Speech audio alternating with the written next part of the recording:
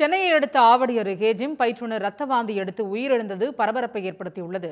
நெமிலிச்சேரியை சேர்ந்த அன்பழகன் என்பவரின் மகன் சபரிமுத்து என்கின்ற ஆகாஷ் நடுக்குத்தகையில் தனியார் உடற்பயிற்சி கூடத்தில் பணியாற்றி வந்தார்.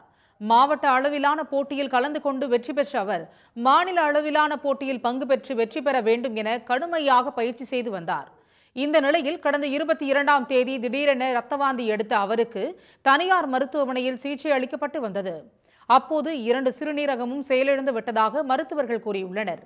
தொடர்ந்து தீவிர சிகிச்சை அளிக்கப்பட்டு வந்த நிலையில் சிகிச்சை பலனின்றி ஆகாஷ் உயிரிழந்தார்.